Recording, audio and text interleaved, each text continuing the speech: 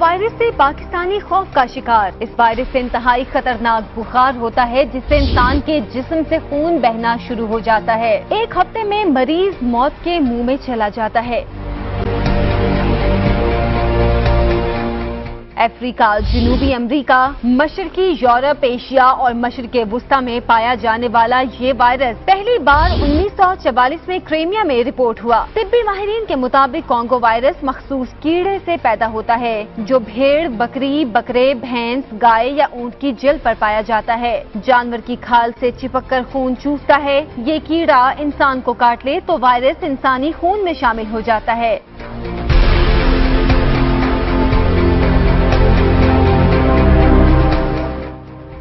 Virus کی چاروں اقسام، Ebola virus, Lassa virus Rift Valley virus انتہائی خطرناک ہیں۔ تیز بخار سر درد متلی کہہ بھوک میں کمی، کمزوری، غنودگی، منہ میں چھالے اور آنکھوں میں سوجن ابتدائی علامات ہیں۔ تیزی سے وائٹ سیلز کی تعداد کم ہونے سے مریض کی زندگی خطرے میں پڑ جاتی ہے۔ طبی ماہرین کہتے ہیں کہ احتیاطی تدابیر یہ ہیں کہ جانوروں کے قریب جانے سے احتیاط کریں۔ خون چوسنے والے کیڑے ختم کرنے کے لیے اسپرے کیا جائے۔ کانگو سے متاثرہ مریض مریض سے ہاتھ نہ ملائیں اور مریض کی دیکھ بھال کرتے وقت دستانے پہنے